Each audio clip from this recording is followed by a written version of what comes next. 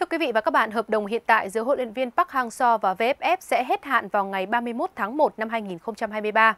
Cách đây không lâu, vị chiến lược gia người Hàn Quốc cũng cho biết AFF Cup 2022 có thể là giải đấu cuối cùng của ông với tuyển Việt Nam, khép lại một hành trình lịch sử cùng hàng loạt những kỳ tích.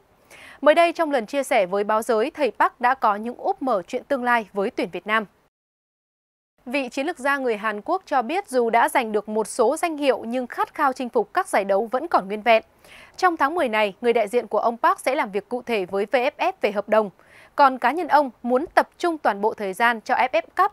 Đây có thể là giải đấu cuối cùng của huấn luyện viên người Hàn Quốc với tuyển Việt Nam.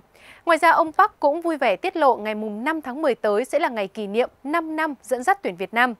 Huấn luyện viên 65 tuổi coi ngày này như ngày sinh nhật thứ hai của mình và còn muốn tổ chức một bữa tiệc nhỏ với các thành viên ban huấn luyện và các học trò đã cùng đồng hành suốt thời gian qua.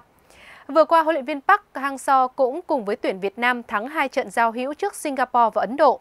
Đây được coi là màn thử nghiệm hướng tới AFF Cup 2022 diễn ra vào cuối năm nay, với mục tiêu cao nhất là đòi lại ngôi vương Đông Nam Á từ tay Thái Lan.